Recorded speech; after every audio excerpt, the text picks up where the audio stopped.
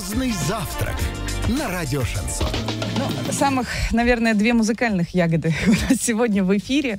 К нам в гости наконец-то пришел один из основателей компании Союз Продакшн, продюсер, композитор, автор текстов, но иногда и исполнитель Вячеслав Клименков с нами, а еще Николай Рябуха, тот самый человек с великолепным, глубоким и бархатным бас-баритоном Николай Рябуха. Здравствуйте, дорогие гости, доброе утро. Доброе утро всем. Доброе утро. Доброе. Николай, вы с нами? Да, доброе утро. Кстати, мы- Спасибо большое, что позвали. Вам спасибо, что пришли. Это второй приход. Ой, как плохо звучит, да? Тре- второй третий. приход. Нет, плохо звучит второе пришествие, а второй приход нормально. Ну, сегодня не с пустыми руками, на самом деле, Николай Вячеслав, потому что сегодня артисты принесли премьеру, новинку, которую еще никто из слушателей радио Шансон не слышал. Но начнем с музыкальной справки. Музыкальная справка. Вячеслав Клименков по знаку зодиака авантюрный и творческий стрелец. По восточному календарю упорный и целеустремленный тигр. По календарю друидов импульсивный и впечатлительный инжир. По мнению десятков артистов шансона, настоящий крестный отец. По мнению работников Почты России, единственный, кто умел писать настоящие весточки.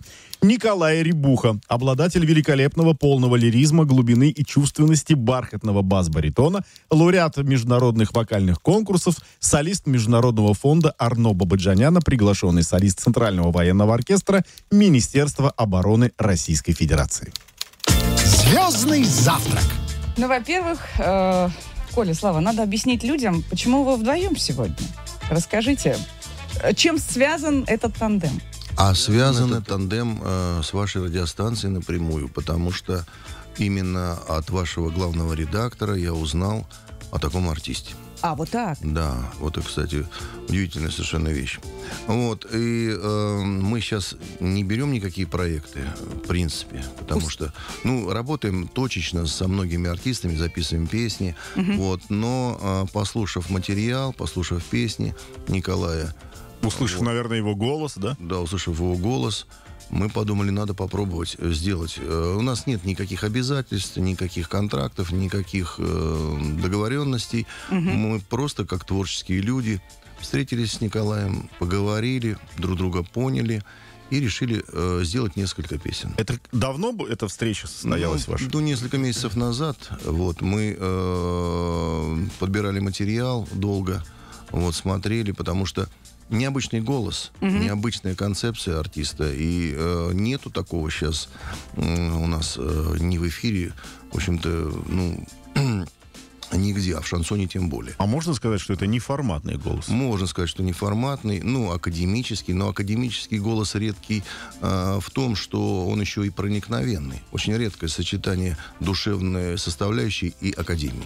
Практически невозможно. Коль, ты вот когда встречался с Вячеславом, какой был запрос? Ты, собственно, в продюсер, это же, да, как бы один из основателей продюсерской компании, которая подарила шансону много хороших песен, С артистов. какими мыслями ты Да. шел к Вячеславу? Я хотел бы также со своей стороны сказать, что а, в моем репертуаре очень много разноплановых песен, но когда я услышал творчество Вячеслава Клименкова, а, его тексты, его музыку, я понял, что однозначно я хотел бы поработать с таким композитором, поэтом, и какое счастье, что этот человек еще и продюсер.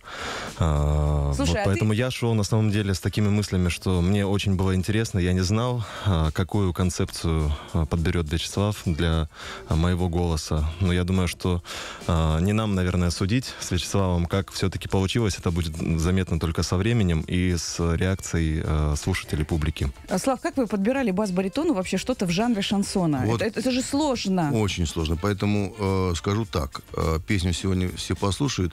В этой песне мы специально не раскрывали все вокальные данные а, артиста только потому, чтобы просто не напугать... э, Чтобы не шокировать. Не шокировать да, любителей жанра таким голосом, потому что немножко непривычно. И мы начали со скромной песни в вокальном плане. Я скажу честно, сделали это сознательно. Некоторые нас сейчас осуждают, кто уже так втих- втихаря там кусочек послушал из, из продюсеров, и музыкант говорит, ну что ж вы такой голос, надо было раскрывать, надо было, чтобы он там во всю мощь. А, а я говорю, это всегда успеется. Надо же с малого начинать. Надо же не пугать людей сразу. Слава, а у, те- у тебя со всеми артистами был такой подход, и, и что надо с малого начинать? Ну, эм, не всегда, потому что зависит от, э, от именно от артиста, от человека. Много наших проектов мы начинали сразу прям взрывом. Вот, но это тоже не всегда оправдано. А Потом э, за, например, за очень мощной песней идет, э, например, э, просто хороший материал, а все ждут уже. То есть тут тут э, очень сложно предугадать, очень сложно. Продюсерские хитрости какие-то. Да, Подожди, знаешь, э. Вячеслав сказал, что начинали взрывом, а я вот сегодня ехала на эфир, и я четко осознавала, что Николай Рябуха это такая бомба замедленного действия. Правильно, Потому что абсолютно а, я тот те эфиры, когда ты был у нас в гостях, я, к сожалению, пропустила. Но мне однажды мама, ну, мамы любят на WhatsApp, знаешь, вот эти вот картинки все присылать, видео какие-то. Присылают видео твоей песни. Это была песня Магомаева, которую ты здесь в эфире пел. Там куча значков разных. Кто это, откуда, что. Я вижу радио Шансон, нашу студию. Ты представляешь, как разошлось вообще это все по интернету, то, что с тобой происходило? Да, в ТикТоке э, Вот, около да. трех или четырех миллионов э, набрало просмотра. Вот когда выступление здесь в радио Шансон, это было первое выступление. У меня их было уже два, вот сейчас третье получается. Бог любит троицу. Но ты сегодня что-нибудь нам Но мы на этом не остановимся, Да, да, мы сделаем сегодня четвертую для ТикТока. Вообще инфопушку. Николай Рябуха и Вячеслав Клименков у нас сегодня в гостях. А, Видим ваши вопросы. Присоединяйтесь. 8 909 955 1030. Звездный завтрак. Вячеслав Клименков и Николай Рябуха у нас сегодня в гостях. Слава, ну тебе огромная благодарность от наших слушателей, что ты стал сотрудничать с Николаем, потому что, как э, я уже сказала, Слава идет за этим парнем на самом деле, и разговоров тоже очень-очень много.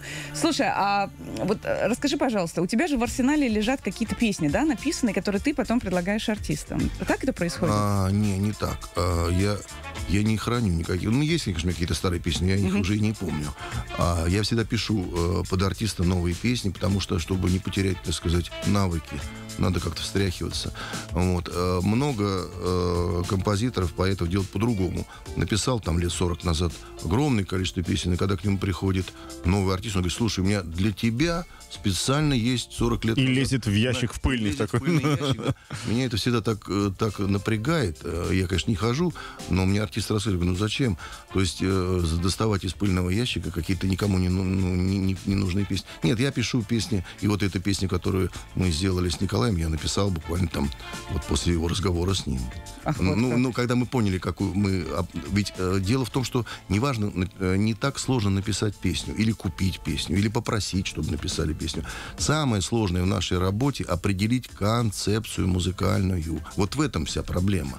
А песню можно любую. Их, их А концепция это имеется в виду, кем ты будешь на да, сцене? именно так. Образ артиста, кем он будет на сцене, что, в каком направлении он будет работать, что он будет примерно петь. Конечно, не все одинаковое, но э, и у всех ярко выраженных звезд вашего жанра, нашего жанра шансона, есть аб- абсолютно четко выраженное музыкальное направление. К- конце- э, кон- концертный костюм Николая уже придуман? В чем он Да будет? мы, э, пока мы не с ним насчет концертов, поэтому он сам там самостоятельно. Вот договоримся, тогда будем ему костюмы покупать. Коль, всё выходи на сцену. Какой у тебя образ? Расскажи. Образ Да. А, Вы знаете, ну, мне вообще близко по духу вот э, советская эстрада, поэтому я не сильно отхожу от образа а, тех времен. Несмотря на то, что сейчас современное, конечно, искусство, оно по- по-своему интересно а, для каждого слушателя, но мне больше близко к сердцу. а, и мне почему-то показалось, что Вячеслава тоже вот именно та структура песни, которая была еще в Советском Союзе. Мне кажется, что сейчас э, самое время э, вот возрож- возрождать то искусство, настоящее искусство, которое, к сожалению, было немножко вот приглушено в последнее время. Вот, поэтому, э, а отвечая на ваш вопрос, в чем сейчас я выступаю в костюмах, э, в основном в классике. Хорошо, тогда у меня следующий вопрос. Недавно а, был концерт, посвященный памяти Михаила Круга. Каждый год такие концерты в Москве проходят. Если бы тебя пригласили на этот концерт, ты себя бы в нем видел бы? А Конечно. там артисты пели песни Михаила Круга. Конечно, я очень люблю творчество Михаила Круга и тоже пою Серьезно? его. Конечно. А что ты из Круга поешь? Приходите в мой дом, например. Ну, а, А можно кусочек? Я открою глаза, я обиды забуду, я прощу все, что можно, и все, что нельзя. Приходите в мой дом, мои двери открыты, буду песни вам петь и вином угощать. Приходите в мой дом, мои двери открыты, буду песни вам петь и вином угощать. Слушайте, а я даже немножко нотки круга услышала. А, кстати, когда он к нам Слав, да? пришел, он когда к нам пришел первый раз в студию, и мы начали Коль, петь спасибо. песню, он Спасибо. запел голосом круга. Реально прям Я говорю, а зачем ты поешь э, голосом круга? Он говорит, ну я же пришел в продюсерскую компанию, которая занимается шансоном. Николай, ну у вас и представление вообще семками и на картах. Ну да. Николай, а Милош Бикович в фильме «Магомаев» пел вашим голосом или еще нет? А, еще нет. Все Перепишем. Но у нас самое главное впереди. У нас премьера этого дня «Колыбельная любви». Так называется новинка в исполнении Николая Рябуха. Сегодня будем слушать эту песню после небольшой паузы. Звездный завтрак. Музыкальный эксклюзив премьеры этого дня. Николай Рябуха «Колыбельная любви» называется эта песня. В долгое плавание мы отправляем. Песня супер. Слушай, п- проникновенное очень исполнение. и Многие слушатели об этом написали. Как тебе самому, Коля?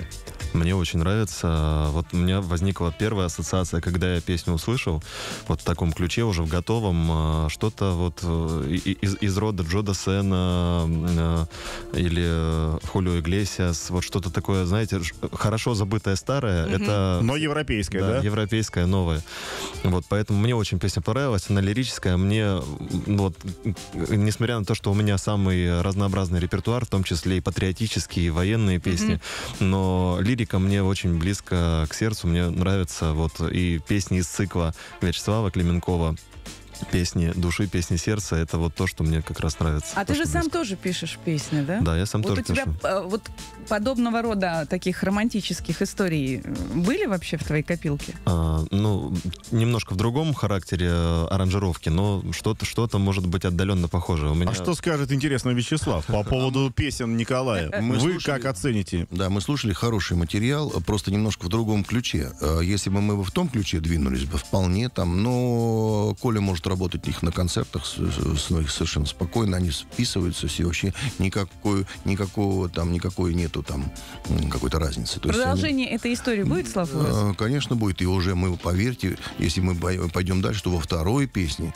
ну уж точно, а в третьей... Катуйская история начинается. Раскроем, раскроем голосовые, голосовые возможности э, Николая Рябухи, то уж точно. А в э, дуэте Николаю в будущем может кто-то появиться из девушек? Да, конечно, может, но пока об этом не думали, это все только в начале пути. Коль, ну. тебя как вообще исполнительница нашего жанра? Кто-нибудь симпатичен? С кем бы хотел спеть? Сложный вопрос. Ну, ты знаешь о существовании, допустим, там, Ани Воробей, например. Или Алены Петровской, к примеру? Ну, конечно, я слышал э, их творчество, и более того, мне это творчество тоже нравится. А, Я всегда рад э, новым тандемам, новым э, продвижением, э, так сказать, творчества, потому что мне кажется, что соединение, а вот как сейчас принято говорить, коллаборации, да, вот, Да, артистов, да, да. это очень интересно в любом случае. Поэтому я всегда рад.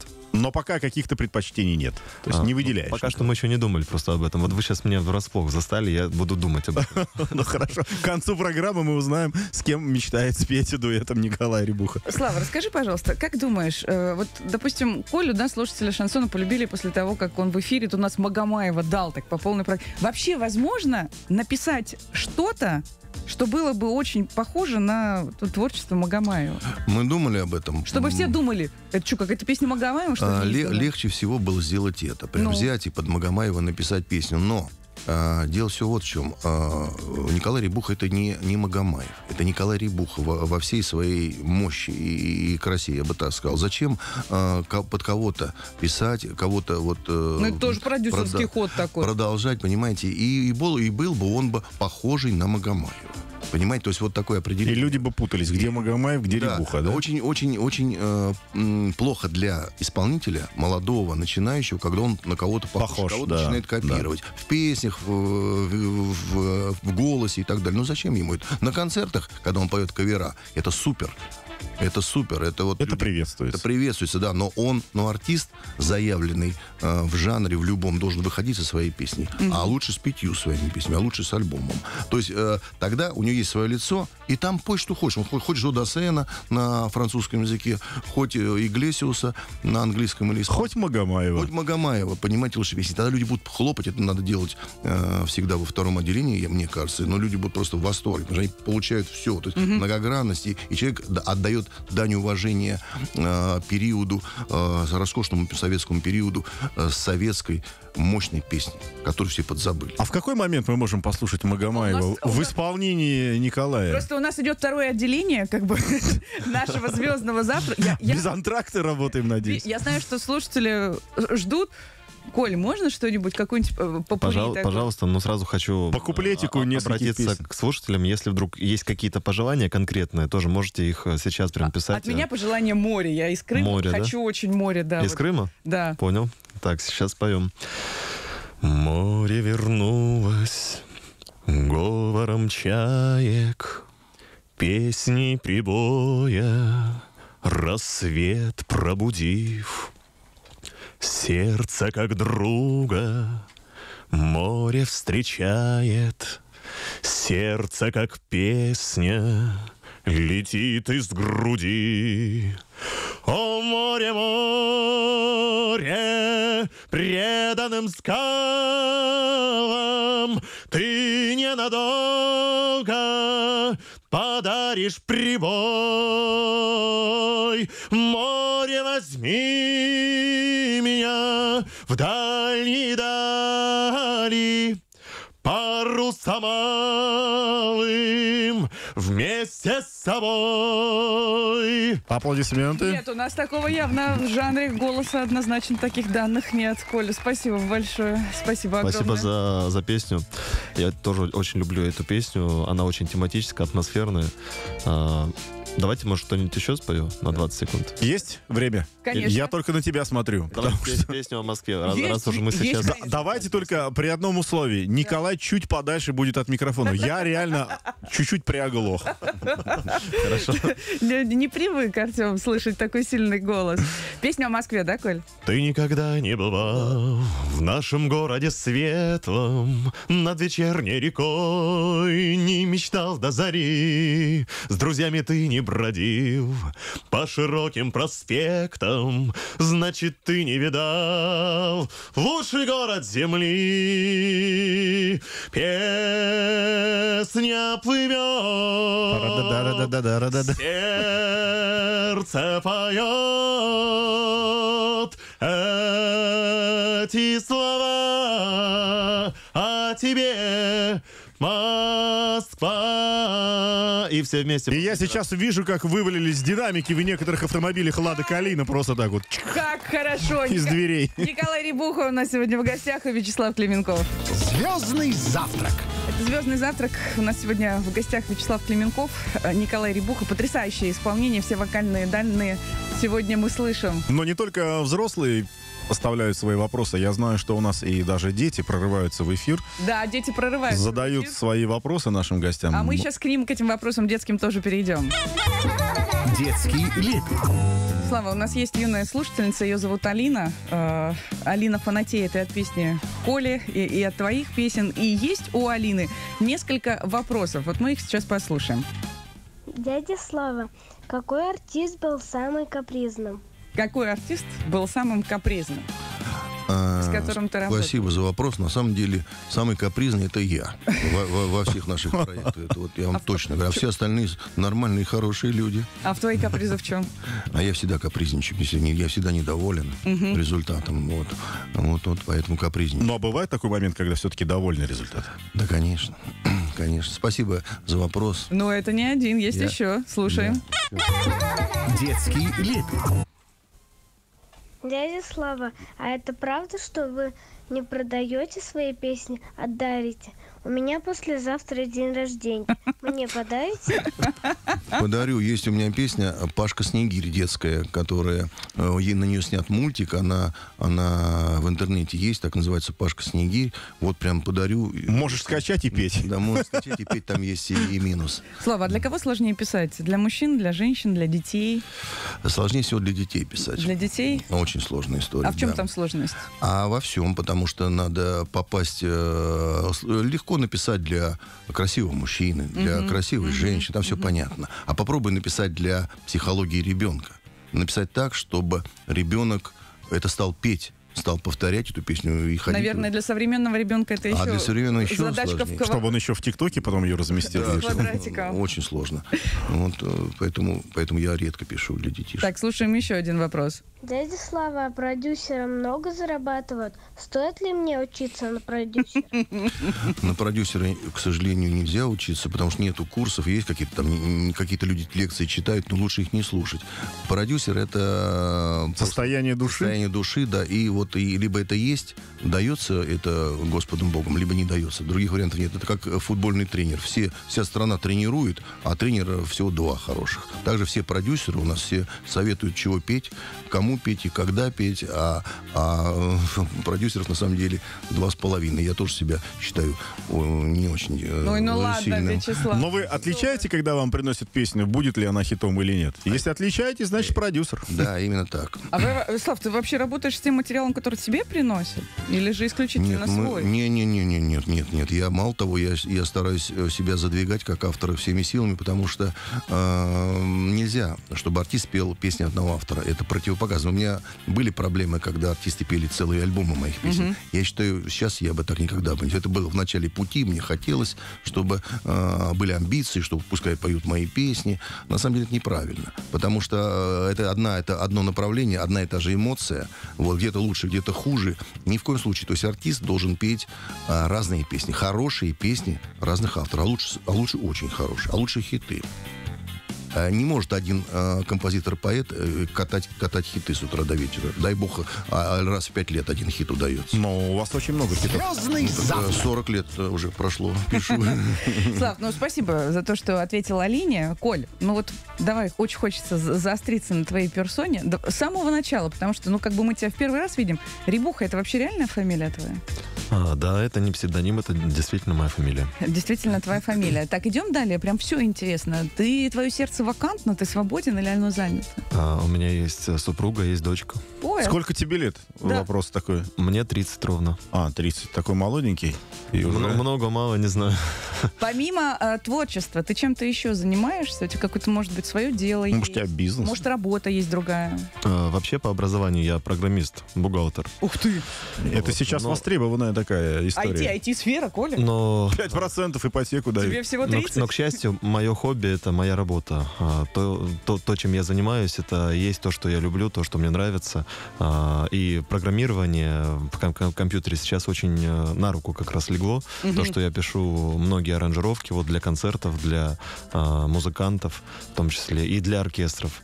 Да, Поэтому мне вот в, в таком ключе а, Можешь какое-нибудь приложение спрограммировать?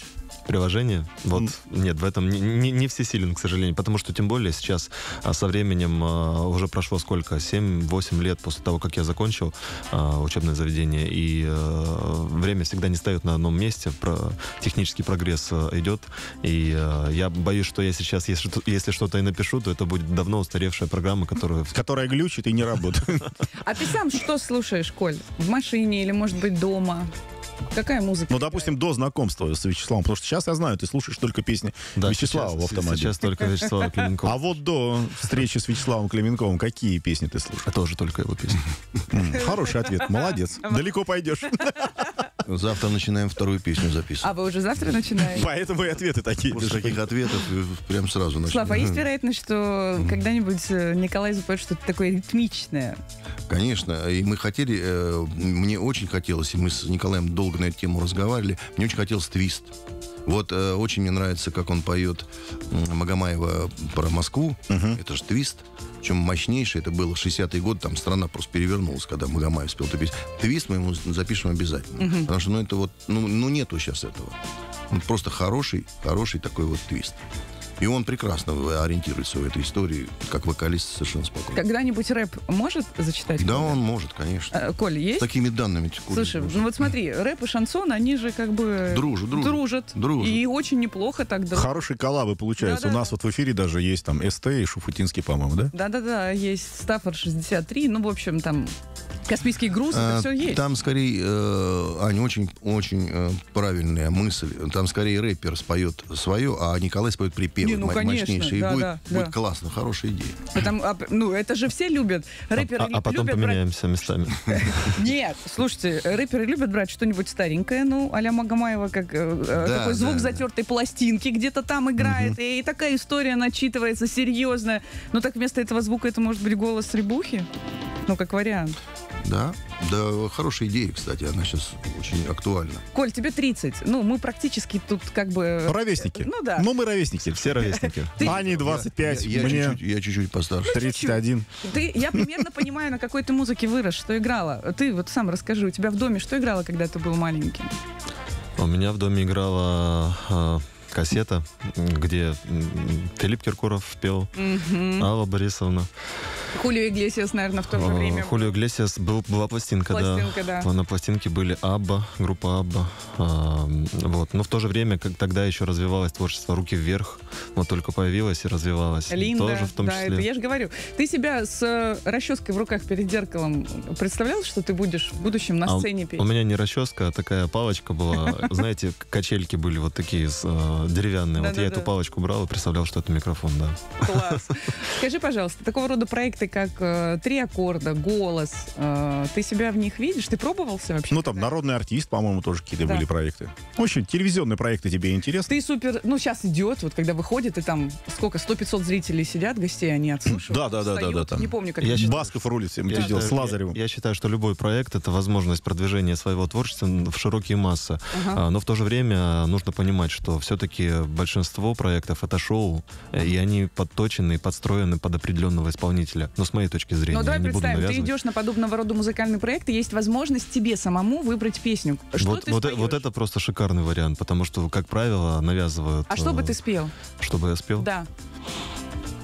Ну, наверное, что-нибудь голосовое все-таки. Вот, ну, А то- сколько то- у то, тебя говорим. диапазон широкий вообще? Или сколько А, октав? четыре- октавы четыре с половиной октавы. Четыре с половиной.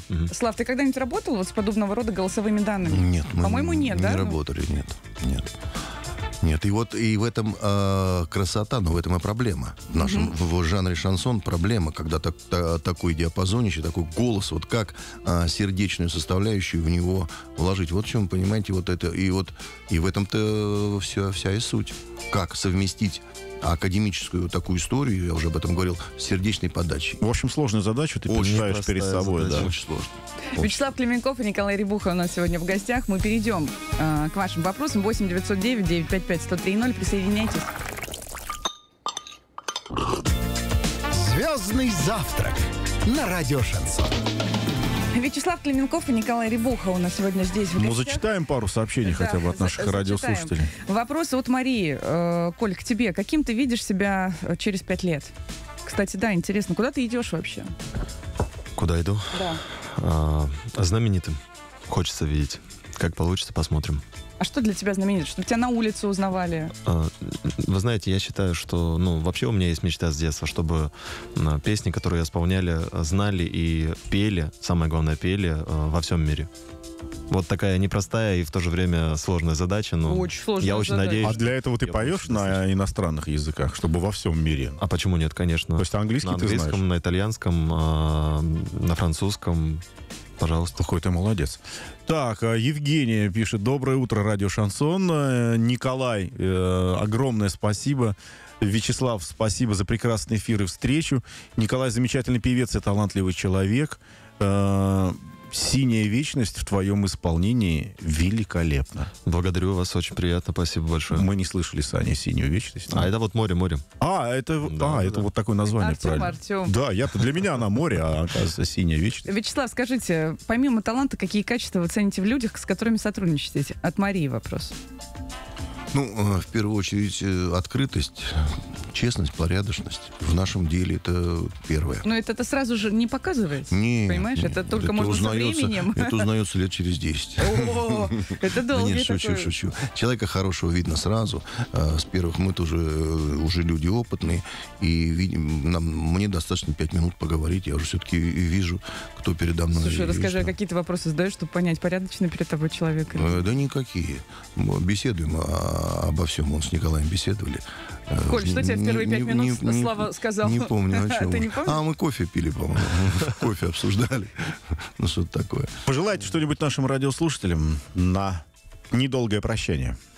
Я желаю радиослушателям этой прекрасной радиостанции слушать ее побольше, почаще, и ночью, и днем, и вечером, и утром, и завтраки, и ужины, и обеды, потому что та музыка, которая звучит здесь, друзья мои, это все наша это, это наше все, я бы так сказал. То есть это, это русская культура, это русский патриотизм, это русская душевная составляющая. Больше вы ни на одной радиостанции это не услышите. К сожалению, а может, к радости. Спасибо большое. Оставайтесь молодыми сердцем и душой. Спасибо, Коротко. Коля. Спасибо. спасибо. Ну что, мы отправляем еще раз да, на суд слушателей песню «Колыбельной любви», которую уже, кстати, можно будет заказывать в программах по заявкам своим милым, любимым. Вам желаем плодотворного дальнейшего сотрудничества. Ждем второй хит, да, где уже Коля развернется в своих Спасибо. голосовых данных. Да, да, Слава, Потом будет понимаю. твист. Потом будет далее. твист. И, Коля затанцует, и, и все будет в принципе, альбом практически уже готов. Да, вот к чему приводит сотрудничество двух талантливых людей. Мы с вами тоже прощаемся до завтрашнего дня. А между прочим, новости хорошие есть. Завтра пятница.